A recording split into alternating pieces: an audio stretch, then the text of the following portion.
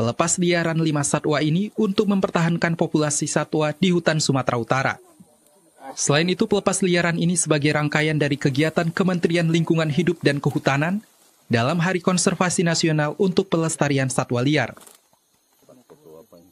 Ya, slogan daripada program pelepasliaran uh, satwa ke habitatnya yang menjadi program strategis dari Kementerian Lingkungan Hidup dan Kehutanan adalah uh, living in harmony to the nature. Nah, kemudian uh, temanya adalah melepas liarkan satwa liar milik negara.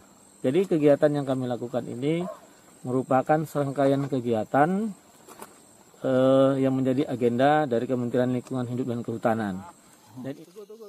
Pasca pelepas liaran diharapkan satwa mampu bertahan hidup dan berkembang biak secara alami. Dedi Julkifli Tarigan, Kompas TV, Medan, Sumatera Utara.